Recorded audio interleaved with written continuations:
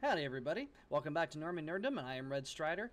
And today, obviously, I've got my hat on. So, what could we possibly be talking about? Obviously, Horizon An American Saga Part 1. That title is a mouthful. I am sorry if that came out weird. The film directed and written by Kevin Costner. Now, this film was very good. I'll get to the review here in just a minute, but before I do, I want you to look left, look right, look up and down Everything around you has been built by somebody that came before you. And that person and that person who built it for you, everything that was built for them that they have has been built by somebody before them. Such is the legacy of humanity, of human ingenuity, of human expansion. Everything that you see before you was created by somebody else, was developed by somebody else, was planned and the materials gathered by somebody else, erected by somebody else. Unless you were one of the few people who built your house with your bare hands, congratulations, absolutely. No tongue, no tongue in cheek here. Well done.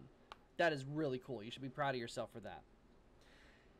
Such is the entirety of the, uh, the entirety of humanity. The entirety of the human race has come from somebody else, has come from something else, has come from somewhere else.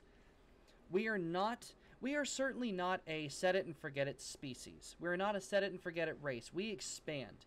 We we develop. We build. Things get torn down and then we build again.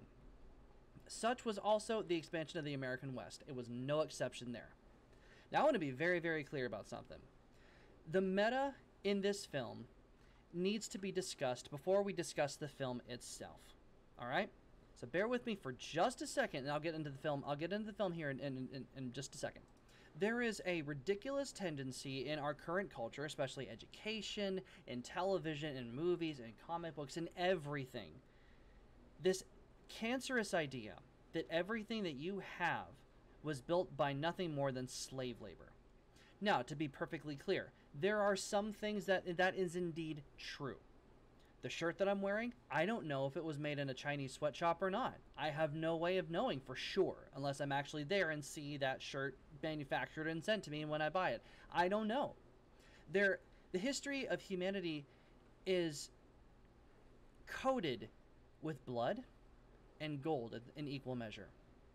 There is not a single one of us who can say with a straight face and who, who, I don't think actually anybody would dare say this. Well, actually, there is an, an, entire faction that would say this. That would say, you know, if I were if I were placed back then, I would not do this. I would be better. I would certainly hide.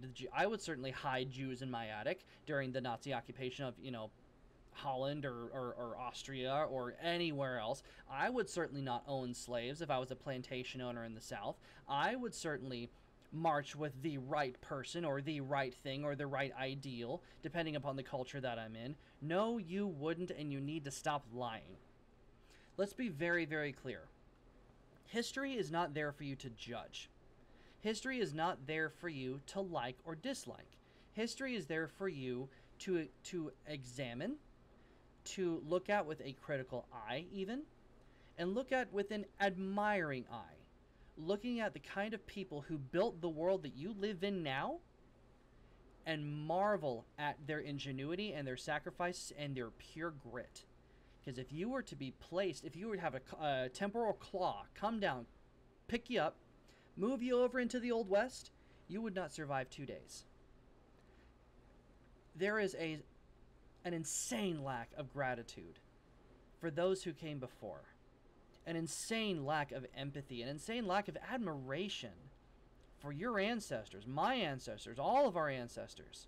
Did you realize that clear back from the beginning of humanity, countless generations, countless people came and gone, came and went so that you could exist.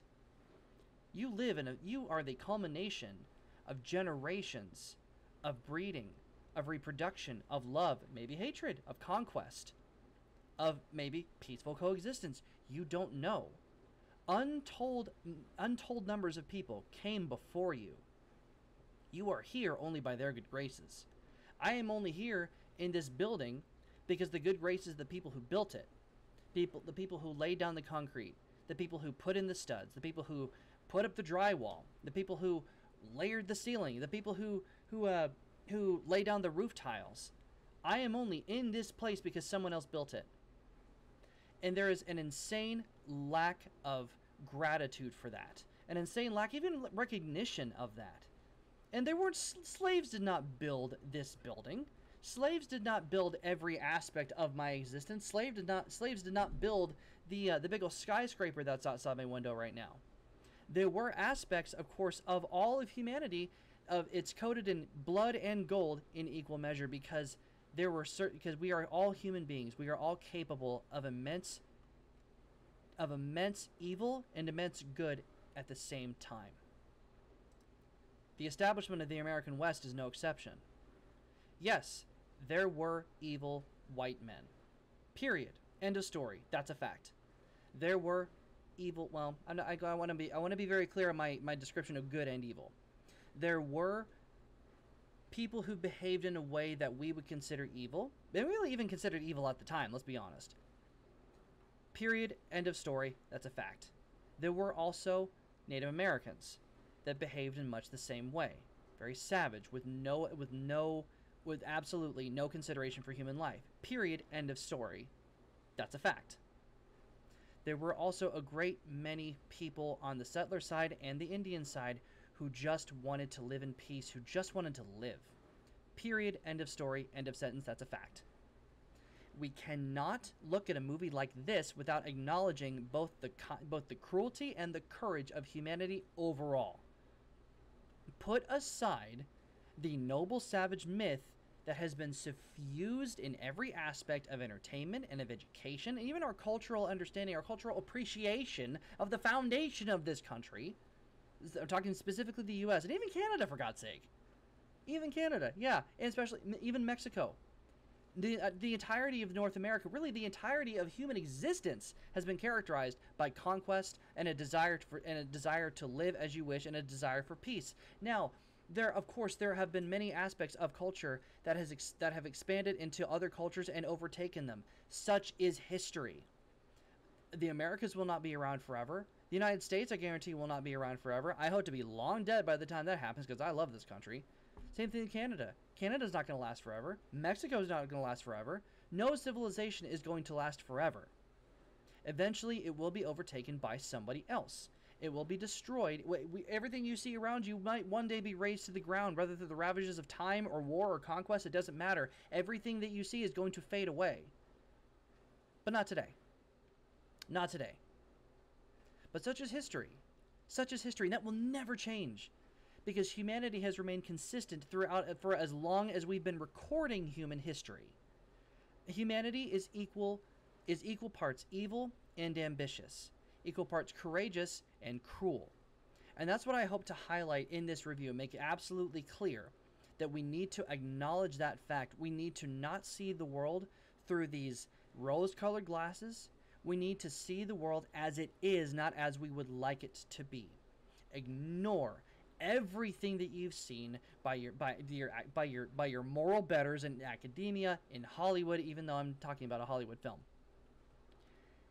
history is not there for you to for you to judge whether or not something was good or bad. We can we can have we can do so to an extent, but we cannot say that everything that came before us was evil.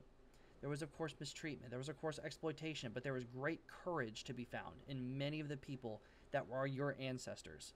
So let's have a little bit of respect as we go into the review. Now I'm going to do as I always do.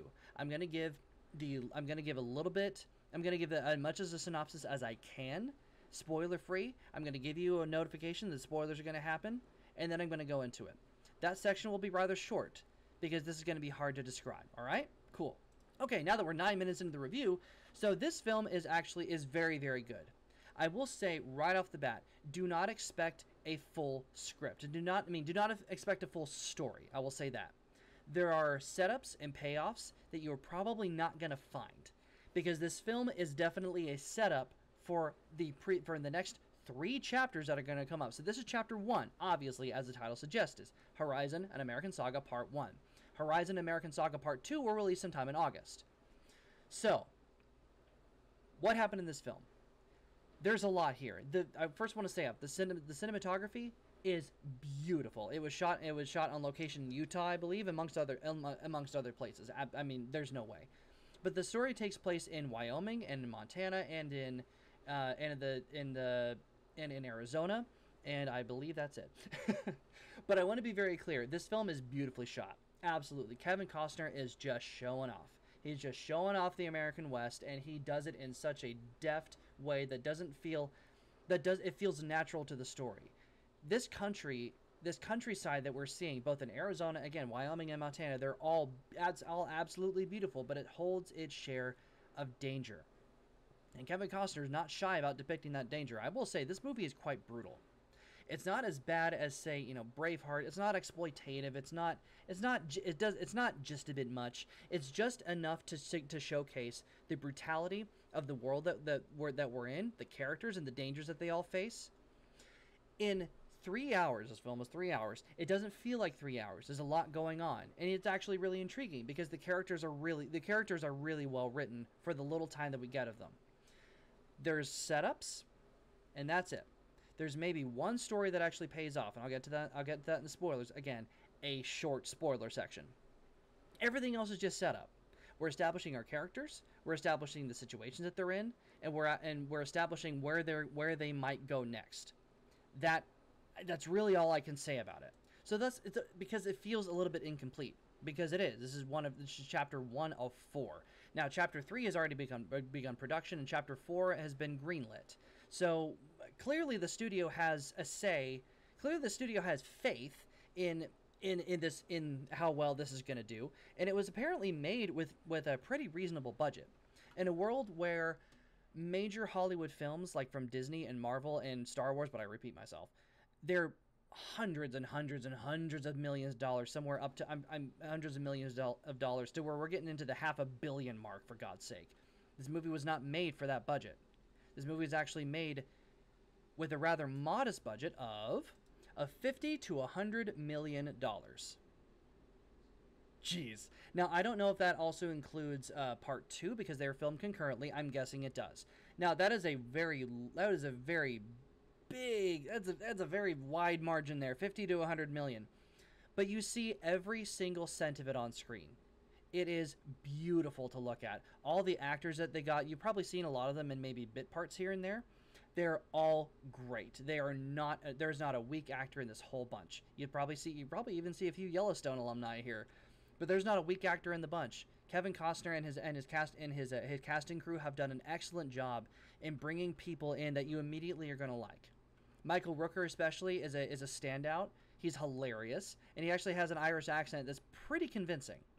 Uh, another standout is Sienna Miller. You've seen her in the you, you saw her in the trailer who uh, she and her family, also sp- kind of spoiled by the trailer, suffer uh, an incredible loss, and they are and they are you go you grow to fall in love with her and her surviving family members. Again, that's not a, that's not a spoiler. If you've seen the trailer, you know what happens. There is again, like I said, a lot of characters here, a ton, dozens in fact. Now, many of them you can be forgiven for forgive for forgetting a lot of their names. I certainly did. Uh, and actually, many of them I'm actually looking. I'm looking at the cast list here just on Wikipedia, and I don't really remember any of their names. But that's not because the characters themselves are forgettable. It's because their names maybe may not be spoken in a very clear manner, or maybe there's not a whole, been a whole lot established. In, there, but there's plenty. There's plenty for them. There's plenty for the these actors to do that makes us love them or hate them. And with that, and with that said, this film does an excellent job of showcasing the cruelty and the courage of Indians and settlers alike. Because remember, I mentioned history is not there for you to love. History is not there for you to like or dislike. It's there for you to look at and for you to and for you to just accept it. There were atrocities committed by settlers. Period. End of story. There were atrocities committed by Indians. Period. End of story.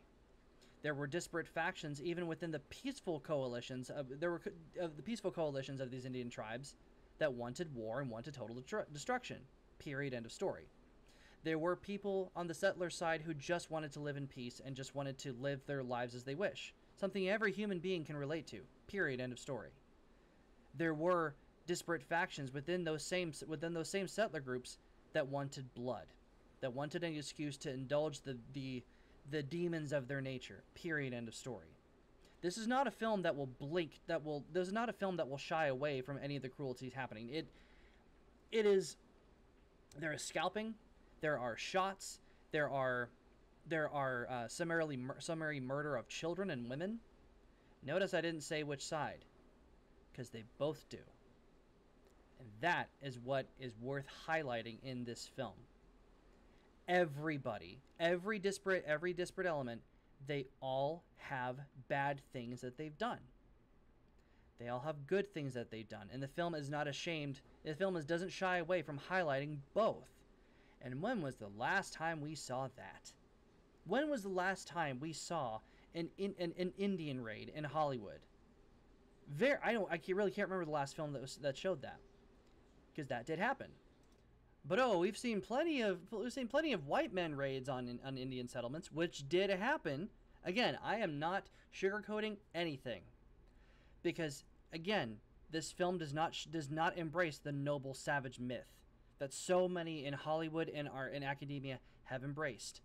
There is no such thing as a noble savage. There is no such thing as an as a people group that whose hands are bloodless.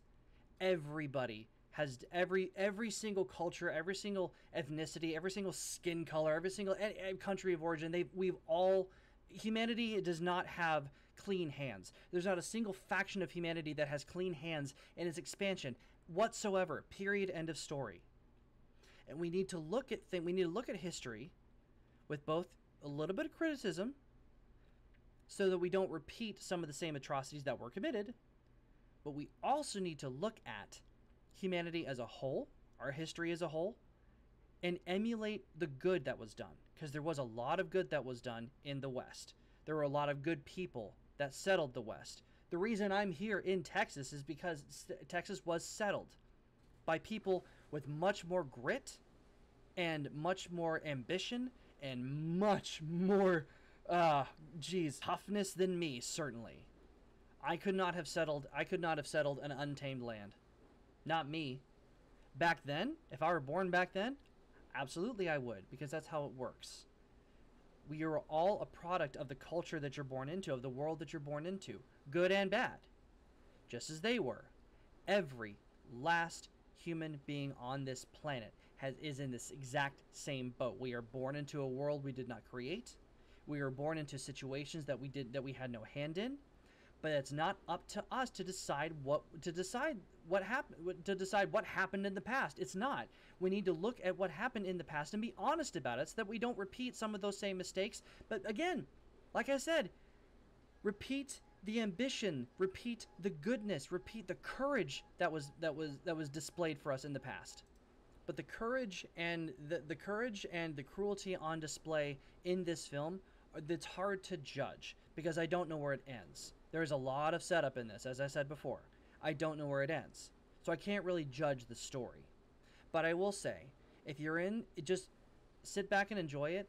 Don't expect a climax. Do not expect some kind of, uh, do not expect some kind of big, uh, big ending because it, it's not like that.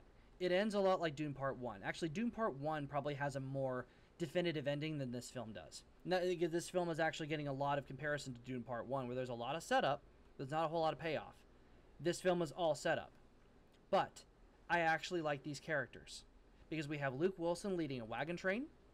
We have uh, Kevin Costner on the run, which he does actually doesn't show doesn't show up until maybe about halfway through the film, which is actually I was kind of surprised because this is his baby.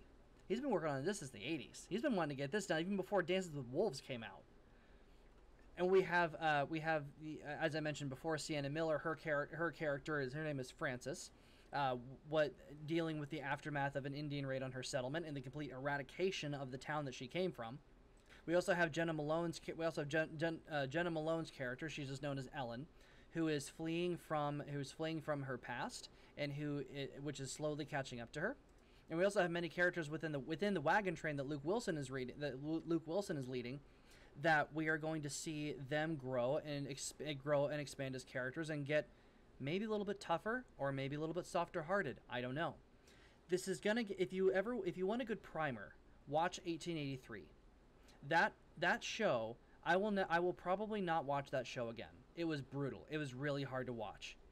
But it showcased how much grit and stick to itiveness it took to make this journey and to be a proper settler of a completely untamed land, the, the, which the entire land wants to kill you. In addition to the in, in, addi- in addition to the indigenous population, this is a good old fashioned western in every sense of the word. There are there are actually some really really cool. I forgot to mention the Indian factions. There, there's going to be a couple stories that happen with concurrently with them, but it all focuses. It also is going to focus on this on this town called Horizon, this fictional town called Horizon, which represent which seeming which is seemingly both a literal location and also a symbolic representation of the dreams and aspirations of the people who settled and defended and lived and died there. So I definitely recommend this film. I can't I cannot give it I cannot give it a star rating. I, in terms of story at least. In terms of story.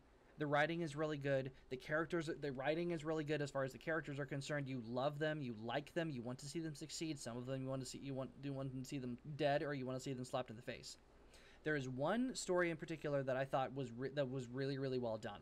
I'll get to that in spoilers here in here in just a second. I would say I cannot. I, I would say I can recommend this film. This is not a film for kids. This is not at all a film for kids. It does have some situational nudity in it. It's not sexualized, but it, it, it does serve it does serve to set up a character moment later.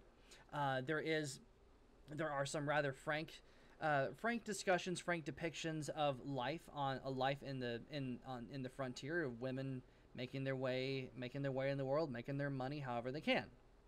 But if you like westerns, if you like seeing manly men do manly things, if you like seeing awesome women do tough things, then absolutely go see this movie. Absolutely. And in fact, I am actually, if you want to also want to see just beautiful landscapes, beautiful shots of, of the American West that honestly belong on a painting, belong on a poster, then 100% you will like this movie. Again, I want to reiterate do not go into it expecting a complete story. You will not get it. You'll be very disappointed. Just sit back and enjoy it. And this is one of the things I say turn your brain off. But not really. Just en- enjoy enjoy what you're seeing.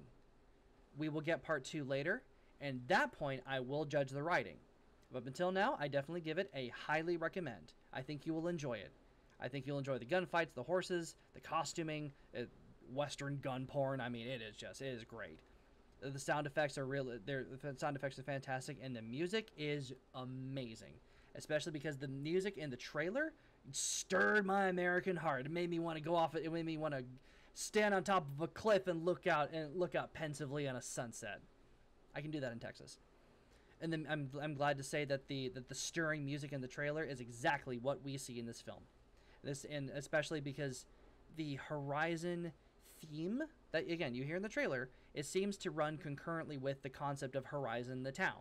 So it is a it is a musical is a musical rope that ties all of these stories together because they all eventually will converge on Horizon, this town that's been that's been built and burned down and rebuilt and burned down and rebuilt and burned down and rebuilt. I think you'll like this movie. Just give it a chance. All right? Cool. All right. So I'm going to get into spoilers here. I'm just going to discuss one aspect of the story I thought was really really well done and that'll be it. So if you don't want anything spoiled for you, and trust me, you will want that you will want this story to remain unspoiled. All right. Let's go. Okay, so you've seen this in the you've seen this in the trailer. There is a uh, there's a sequence. There's you've seen this in the trailer. There's, there's an Indian raid on a settlement, and it is actually quite brutal. It's actually quite heartbreaking. Like in in uh, it's less violent than 1883, but it is very emotionally stirring. I mean, the, the, there's a lot of children that meet their end. We don't see them die, thank God. Kevin Costner has way more has way more sense than that, but we do see a lot of women die. We do see a lot of men die, civilians, people who are un- who are unarmed die at the hands of these Indians. Because that was real. It happened. It did happen. I'm sorry to say, and if many if any leftist academics are watching this and be, and trying to claim that I'm somehow I'm somehow uh, claiming manifest destiny, I'm not. I'm not. I'm saying it is unafraid to uh, the, the script is unafraid. The film is unafraid to to showcase what really happened in history even if it didn't happen that exact way or that exact time, it was still consistent with the in, consistent with the the spirit and the historical landscape of it, of where of the of the period in time this takes place. So there is a there is a massive raid on a on, on a settlement that takes place in which Sienna, Sienna Miller and her daughter are the are some of are some of the the last survivors of this town. Probably about hundred people. Only about thirty walk out. Kind of sad. Um, but there is a young boy whose name is Russell, sorry, I, I forgot, who flees, uh, who flees and brings back help from the local from the local military garrison. Um, that's where we are introduced to uh, we're introduced to Lieutenant Gephart, played by Sam Worthington, and he uh, he and Frances, played by Sienna Miller, kind of strike up a fledgling a fledgling romance. And this is this is year their her, her husband and son have been long dead, so this is a it, there's been a, there's been at least a year or two in between where she's just living there and their and their relationship is is uh, coming to is coming uh, coming to fruition. Uh, but Russell flees this massacre. He loses his entire family, and he's got nothing left. So the beginning after so after all the bodies are buried, after they they clean up on the after they clean up out of the settlement, Russell again he's this young kid, probably maybe 13, 14, if that. Uh, joins up with a posse who are wanting to track down the Apa- the Apa- specific Apache tribe, which is later revealed to be a specifically violent faction of the local Apache tribe, um, in, acting independently of the local chief. He is after their scalps. He is after their blood. He wants them dead. This is it is going. There is going to be retribution meted upon the re, meted upon this this Apache faction. The problem is they don't. The problem is so far, the people out for revenge, the people out for justice, I suppose you could say it, do not know that they do not know exactly which dis, do not know that the local Apache faction, the lo- local Apache tribe has been split. So we have the violent faction have left the peaceful faction and and to to wage war against the white settlers. So Russell is along for the ride. He is out for blood. He wants revenge.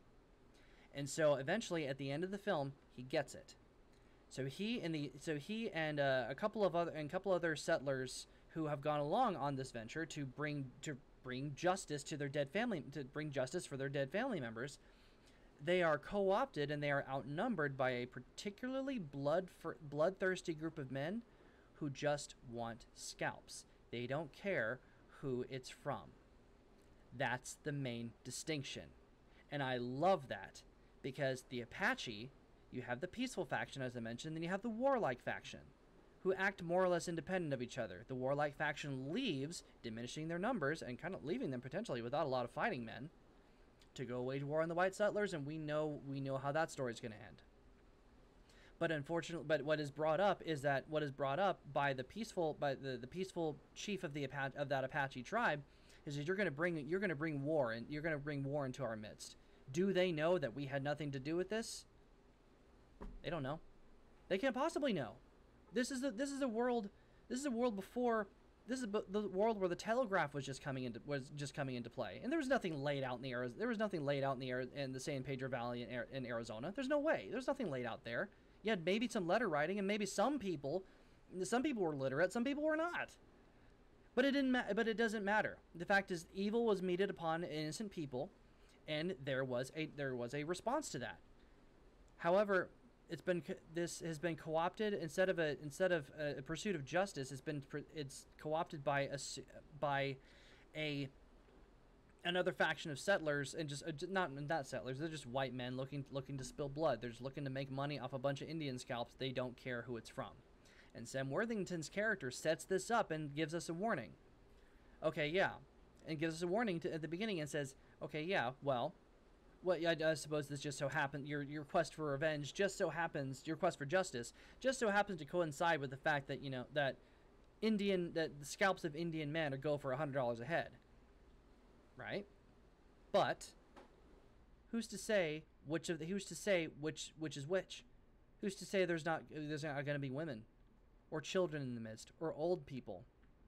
Who who are you who how exactly is the buyer of these scalps going to know the difference?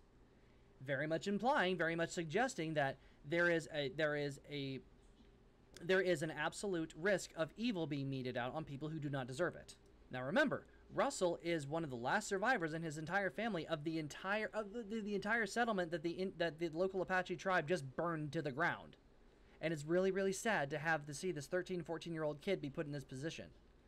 But by the end of it, a raid has been a raid has been planned by both the by both Russell and his and his uh, the man who went with him to help him in this venture to help mete out justice for his dead family for the for this village that's been destroyed.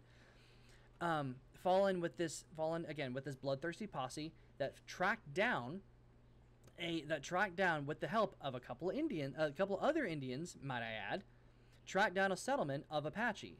I don't I don't remember if this is the same warlike faction or not. I don't know. That's the point. They don't they don't know either. They've got no way of knowing because they don't care. They don't care that these people are, these people may or may not be innocent. Doesn't matter to them. A scalp is a scalp, and we're just they're just using that they're just using that quest for justice as a way as as a, a justification for killing anybody around them that they may see. They're they're evil. they are evil people. So Russell sees from the from from the distance. He is he is late. He is he is assigned the lookout post while all the other grown men go down and destroy and go down and destroy a village of women and children, while the fighting men have all just rode off on their horses way too far in the distance to do anything.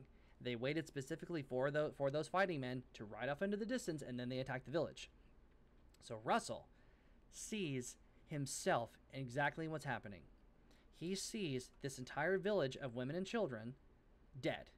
They're being shot, they're being killed, they're being scalped just as those same maybe maybe those this those maybe it's those same people, maybe not. We don't know. Probably I don't think it is actually. Now think about it. Uh, I don't think I don't think we see a, a recognizable Indian character in there that would uh, that was part of that faction. But that's the point. He doesn't know the difference. Nobody does. But neither do the Indians know the difference between the good white man and the bad white man. But that's the generation of conflict that keeps going and going and going and going. It's the cycle of violence that keeps escalating and escalating until eventually one side is going to be completely annihilated and the other is going to be left standing. There's still going to be blood on everybody's hands. Absolutely everybody's hands. And I'm sorry, there's no excuse for killing women and children. Deliberately killing women and children. In war, there is always going to be there civilian deaths are always going to be are always going to are always to be a part of the death toll. It's just it's the nature of war. It's undeserved, it's wrong, and it's horrible, but it's unavoidable. That's why war is should never be anyone's first choice. But when you're specifically targeting women and children, that crosses a line. And I'm glad that this movie is not afraid to showcase that both sides did that specifically. They targeted women and children, they targeted the weaker among them in order to terrify them into submission. But the war, but it just kept going back and forth and back and forth and back and forth. And Russell realizes this. He sees the, he sees these teenagers, these, these kids no older than he is, getting gunned down and killed and, bru- and mutilated in brutal ways. And he collapses. And he is having such a hard time seeing this. And the other man who is there to help him on his quest for justice sees what's going on, but they're both powerless to stop it. In, in, a, in, a, in a crew of about a dozen, there's two of them a grown man and one kid. What are they to, what can they do? They're helpless. They're as much a hostage to these bloodthirsty, through these blood, you know, bloodthirsty dirtbags as anybody else. And they are now implicated in their deaths, even if they didn't participate in it. Russell was just a lookout.